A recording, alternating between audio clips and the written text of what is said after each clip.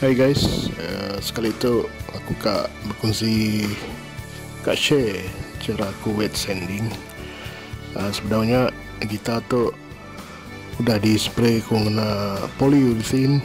Polyurethane tu uh, ya bisa orang umai shellac, bisa orang umai varnish. Aku prefer kena polyurethane leban ya memang uh, formulated for wood finishing boleh kena uh, clear coat kereta pun boleh ya. Kena spray tint pun boleh aku kalah kena spray tint. Pun resultnya pun not bad kurang.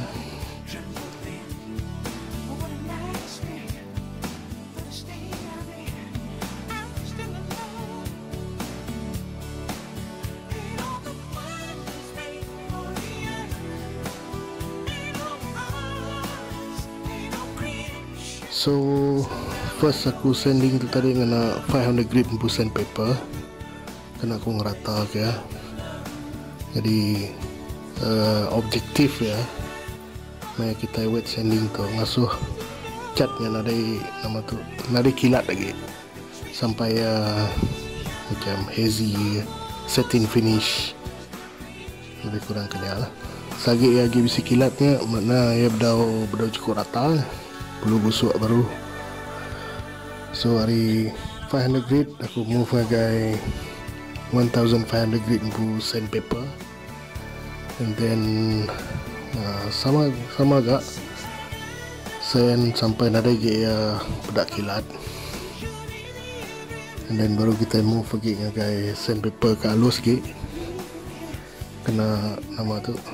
So next step bila kita polish uh, nak mahu kerja jadi yang pu hasil pun uh, lebih mantap lah.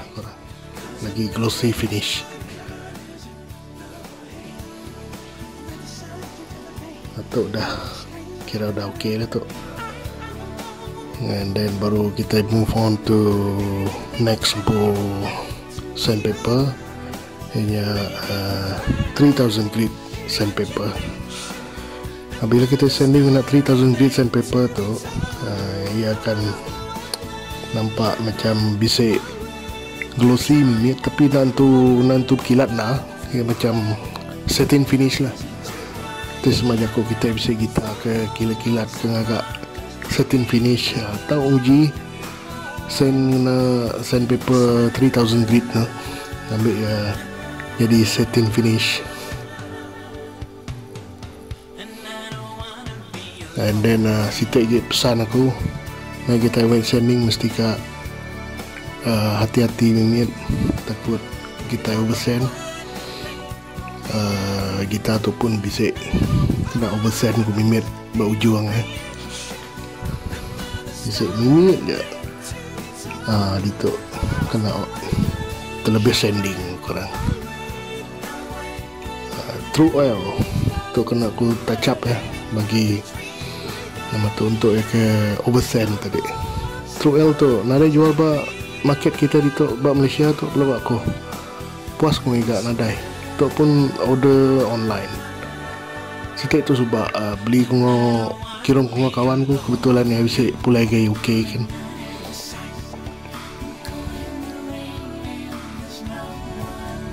Okay guys. See you next time. Bye